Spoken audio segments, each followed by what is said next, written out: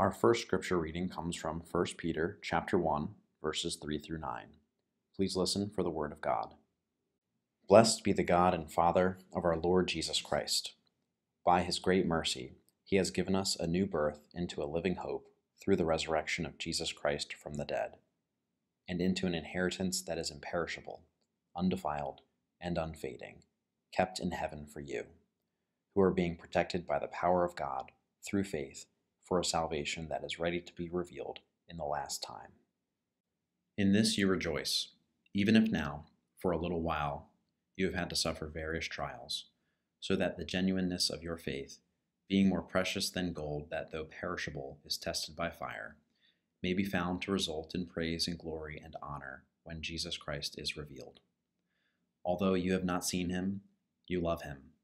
Even though you do not see him now, you believe in him and rejoice with an indescribable and glorious joy, for you are receiving the outcome of your faith, the salvation of your souls. Our gospel lesson comes from the Gospel of John, chapter 20, verses 19 through 31. Please listen for the word of the Lord.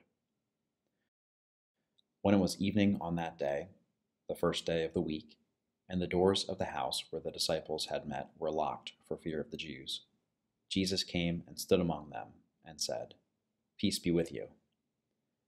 After he said this, he showed them his hands and his side.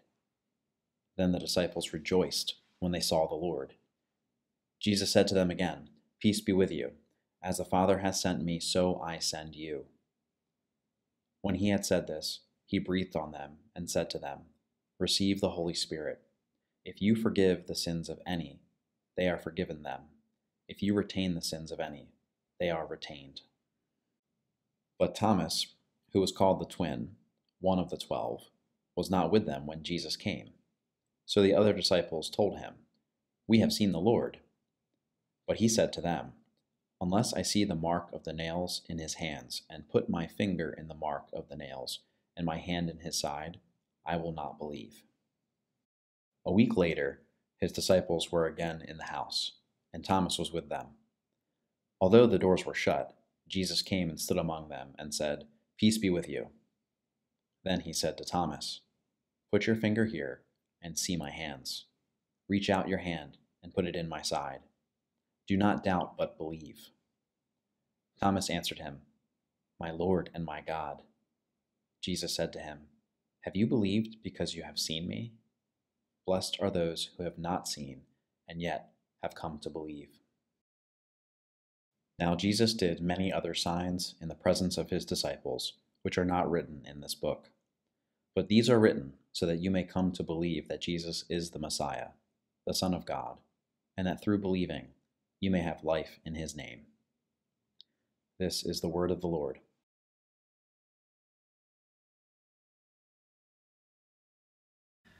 Please pray with me.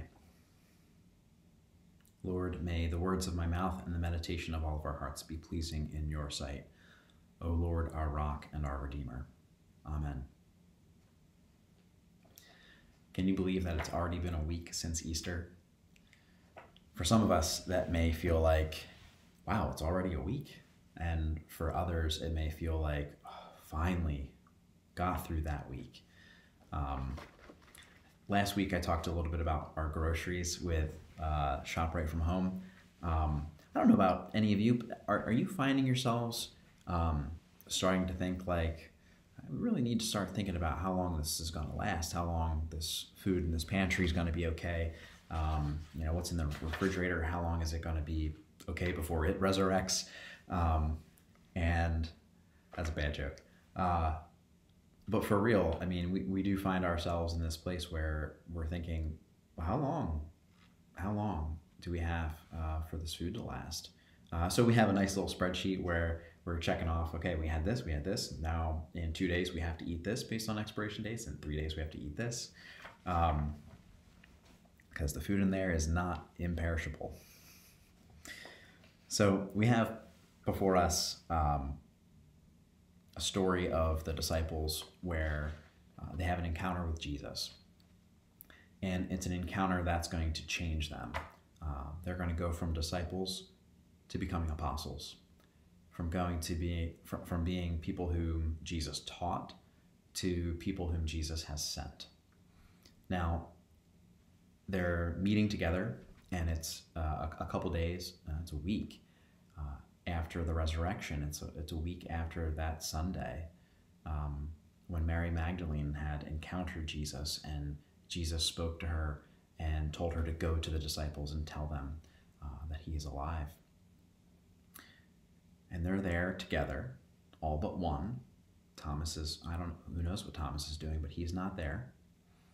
And amongst them appears Jesus, and he says, Peace be with you. Peace be with you. And he commissions them and he sends them, he calls them uh, his apostles. He gives them the Holy Spirit, he breathes on them. And he says that if you forgive any, they are forgiven. But we learn that Thomas wasn't there. Thomas shows up later, and you can imagine the disciples' excitement. Mary was right. Jesus is actually alive. Um, and Thomas is, uh, he's not ready for this message. He hears it, but he says, I will not believe. I surely will not have faith in what you're saying until I see Jesus and I place my fingers in the hands where, in the holes where the nails were. So Thomas um, hears the gospel, but he doesn't believe. And then the, ta- the text says, a week later. A week later, his disciples were again in the house, and Thomas was with them. I wonder what Thomas's week was like. I wonder if he overheard, you know, Peter and James, John, and the others talking about their encounter with Jesus. And as he heard, was he listening in disbelief? Was he kind of criticizing them, mumbling under his breath, These guys, what are they talking about? Or was he listening with a desire for it to be true, with a, a hopefulness that, well, if they saw Jesus, maybe I'll see Jesus. I'm not going to believe until I do, but maybe I'm going to see Jesus. I don't know what his week was like. Um, I'm sure it was long. Who knows? Maybe it was fast. Maybe um, it flew by. But I, I imagine if the others that I spent all my time with had this wonderful experience and I was left out and I was cut off from the experience and in that way also kind of cut off from these people that it would have felt like a very long week. One where in Thomas's world, Jesus is still dead. In Thomas's mind, Jesus is still in the grave. In Thomas's world, the hope that he had hoped for was lying in a tomb. Actually, wasn't even in the tomb. They didn't know where the body was. For him, the story was over.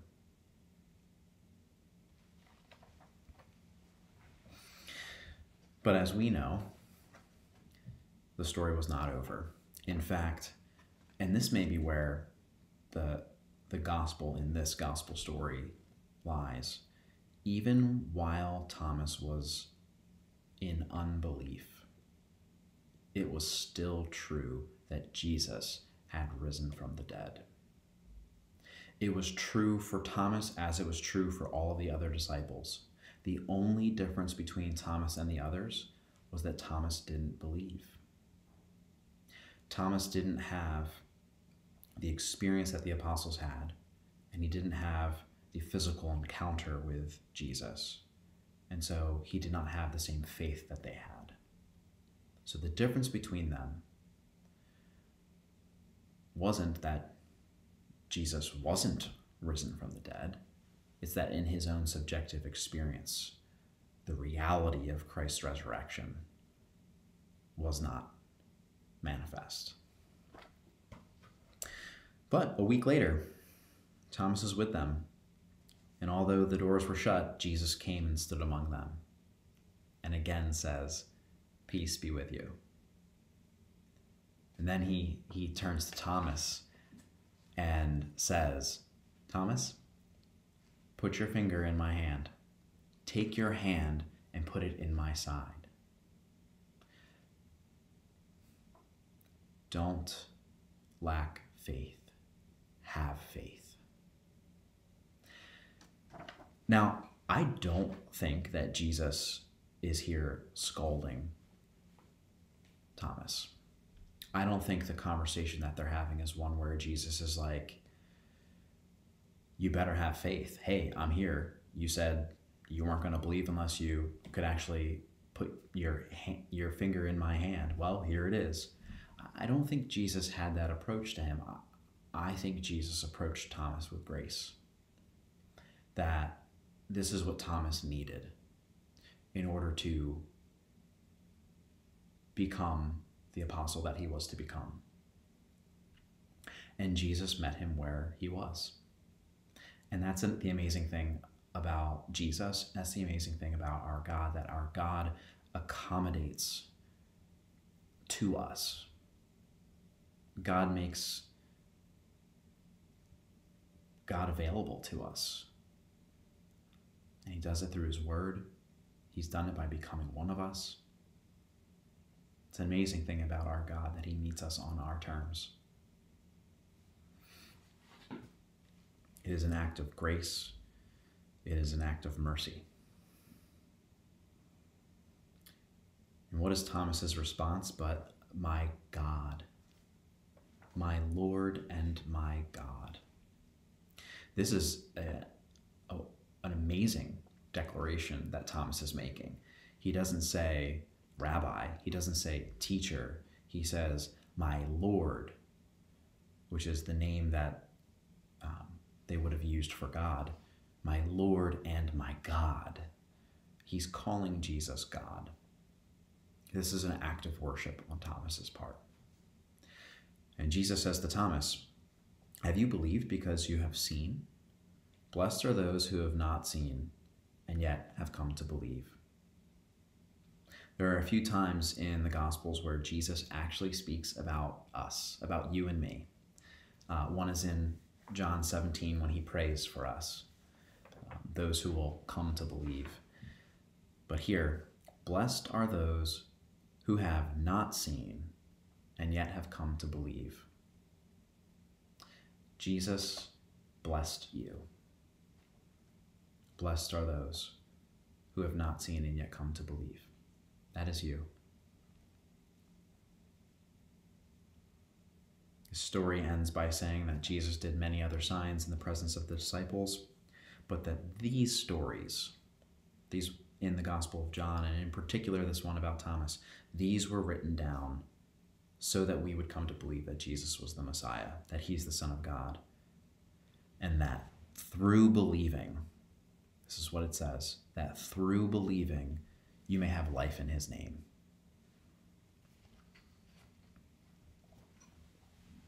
Our other passage today was from 1 Peter, and this is one of, it's just amazing. Um, the, the hopefulness, the joy, um, the passion that's present for what God has done in Jesus for our ultimate hope.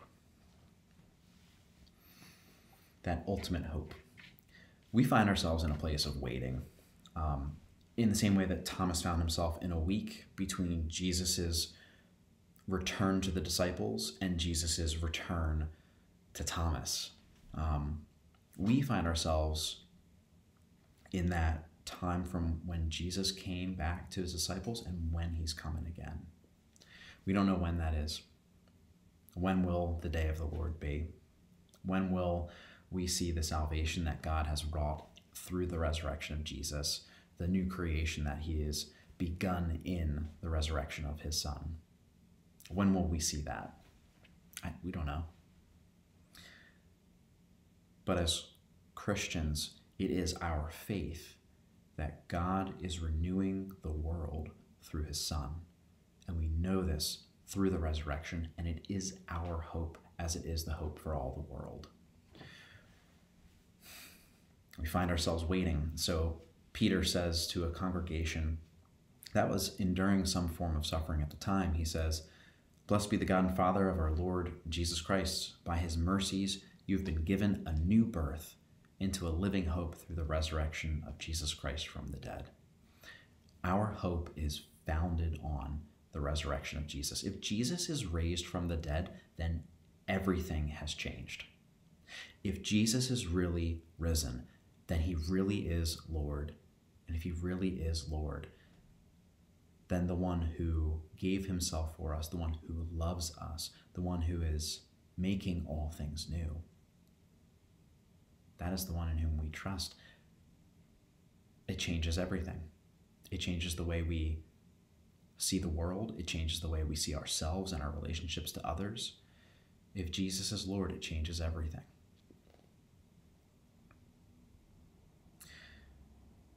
It's a hope into an inheritance that is imperishable, undefiled, and unfading, kept in heaven for you. Imperishable and undefiled. It's not something that can fade away. It's not like my groceries.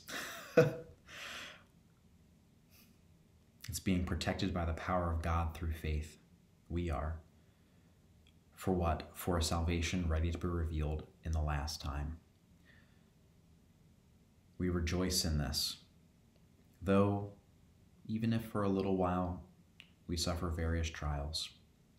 I'm so glad that there are passages in the Bible, in the New Testament, that tell us that there may be times that we suffer various trials. If the Bible is anything, it is something that truly grasps the reality of life. That it is not easy, that it is not always good, that it is it can be difficult, but that even in the midst of those trials and difficulties, that our faith in God need not be shaken, but that the genuineness of our faith can be proved through these trials. As the passage says, that it may be found to result in praise and glory and honor through Jesus.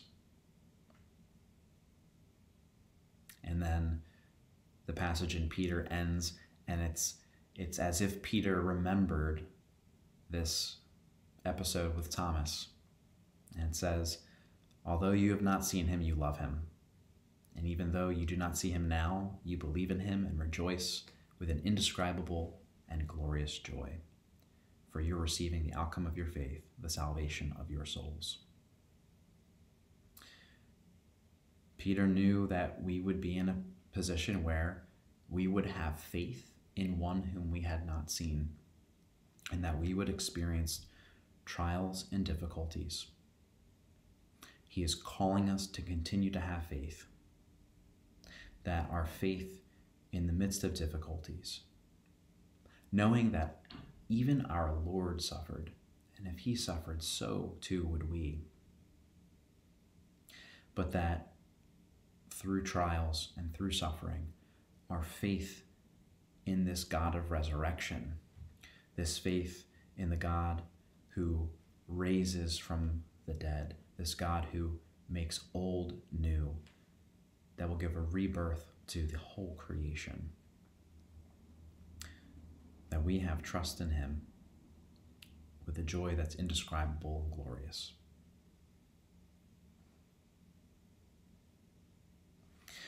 My hope and prayer for you is that your faith would be made strong in the midst of trials, that your faith would prove as rich as gold, that your faith in God would be one that would not need concrete manifestations like Thomas, but that through the very word spoken to you, that you would believe that there is a God in heaven who loves you, who is with you, especially when we find ourselves alone, week to week, cut off from one another. May God be with you. Amen.